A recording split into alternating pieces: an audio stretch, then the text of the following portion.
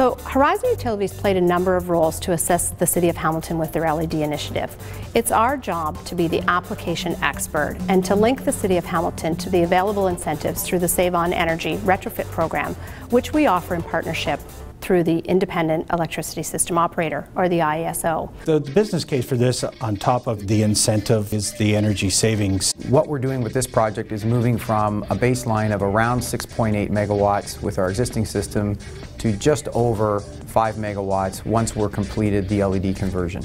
Street lighting represents approximately 20% of Hamilton's overall electricity bill. The related energy savings to that in a dollar term is, is over $800,000 a year. The project implementation Horizon staff and city staff worked closely together to ensure the process was flowing smoothly and that the information was available to validate the equipment that was being installed to ensure that the energy savings were captured and the incentives could be gained. So we've been pushing very hard to achieve a, a tight timeline, 10,000 lights in fundamentally a one year window. We overachieved on our, our savings by going through a proper design phase.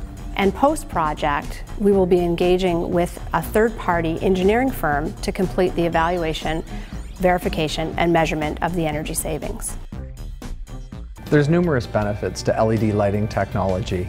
Firstly, it's a better quality of light. So you've got reduced glare, you've got more light on the roadway surface as well as the sidewalk. Also, the lighting is dark sky compliant, which means there's less upward lighting above the fixture, which reduces light pollution.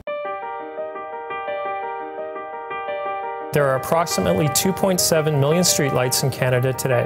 Imagine the energy savings we'd see by converting all of those to LEDs, a technology more than 50% efficient than traditional light sources.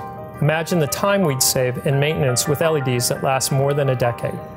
It's no wonder cities across Canada, cities like Hamilton, are taking note and the time to activate LEDs is now.